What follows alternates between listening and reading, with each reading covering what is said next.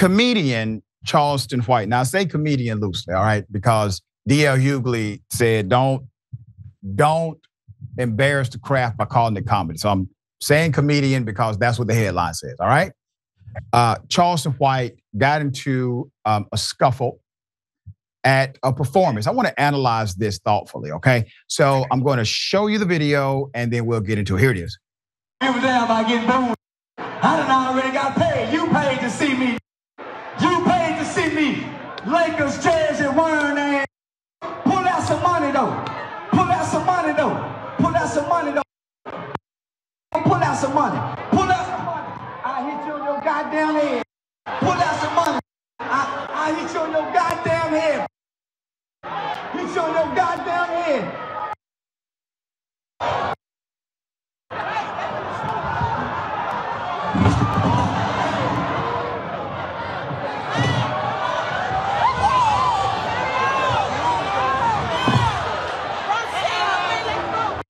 All right, I got more video. Put up the picture for a mask. When this first started, when I'm looking at it, I'm thinking, okay, is this a skit? Once I realize it's not a skit, I'm asking another question. Um, where's the security, right?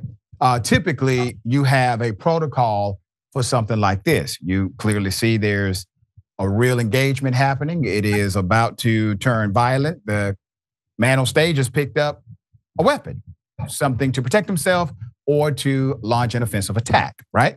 So, according to Complex, Charleston White performed in Crockett, Texas on Saturday night as part of a Christmas themed event he was booked for. During his set, White allegedly questioned the validity of the 2020 NBA Finals, where the Los Angeles Lakers, two Lakers fans in the audience, did not seem to take kindly to White's commentary.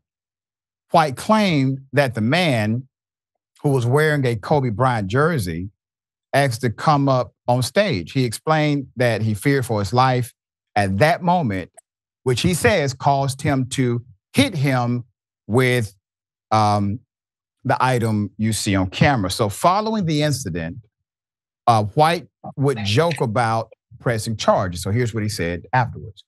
Boy, I'm pressing charges like a man, I'm pressing charges. And then I'm taking my disability papers to the prosecutor's office so we can enhance the charges.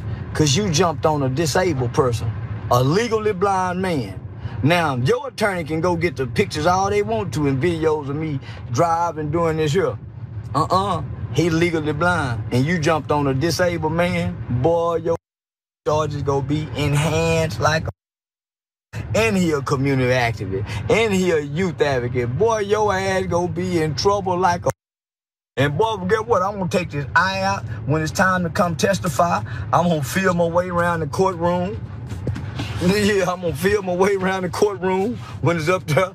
Say, yeah, say, they go have the Bible out. Will you put your hand on the Bible? Yeah, I'm gonna do this. yeah, like I see this. Yeah, I, sir, the Bible right here. Oh, okay. Uh, yeah. Uh, you swear to tell the truth, the whole truth, there's nothing but the truth, truth. So help you God. Yeah, yeah, yeah, yeah, I do. Uh, yeah, then when I get there, they go have the microphone right there to talk. Uh, I'm gonna be talking like this, like I'm talking on the microphone. Sir, the microphone right here. Oh, okay. I, oh, I'm sorry. Yeah, yeah. Okay, I got it. Yeah. Well, yeah, yeah. Can you can you point him out? can you spot him out? I'm gonna be I'm gonna be able to see him with that. Can, can you see him? Yeah, that's him right there. I thought you couldn't see. Uh, uh, he got that's the same silhouette. Yeah, yeah, that's the same silhouette. I, I, will never forget that silhouette. you know, the irony of, of his video is that for me personally, that's the funniest he's ever been to me. Like that was actually funny. Um, so he's he's making light of, and I said he's going to press charges. He he was able to create a narr- a narration that provided some levity to the situation. But uh, you got to imagine that's a scary scene, regardless of how it happened. You are in a scary situation at the end of that. Now, I don't condone anybody jumping on the stage. Now, if somebody throws a potted plant at you, you know, cause and effect can happen. So, Rickey, how do you see this? Yeah, you can't be throwing the poinsettias because there's a shortage on them. And our, our senior citizen community was more upset about that poinsettia being thrown than anybody. Because Dr. Richey, your grandmother and my grandmother do not play. That's right. About, about those uh, poinsettias. And the chair thing only worked in the state of Alabama. Ah. Uh, yeah, that was that was that was Texas. That's uh, I I I just me personally as a comedian, I'm just not gonna antagonize uh, anybody like that. Even if I get somebody drunk, Dr. Richey, I get them out by saying, "Hey, you come on over here. Let me get you back here to the dressing room so I can take some pictures with you. Make them feel like they're getting something special. But really, yeah. what I'm doing is getting them out the audience so I could finish my performance. And I go back to the dressing room and take a picture or two with him, and everybody's happy at the end of the night. Mm. Uh, I fear for his for his safety. Uh, having that many enemies and going all over the country, and you into it with rappers and stuff. I mean, I understand some of the things that he's trying to uh, communicate and uh, uh, say about the, you know some of the negative things that's going on in the community.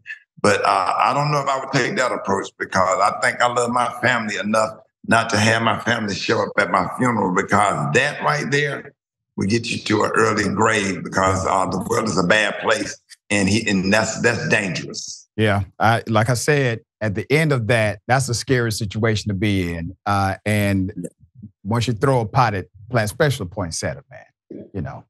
Yeah, and I didn't know as I was like I like man, wow. That's yeah. a lot.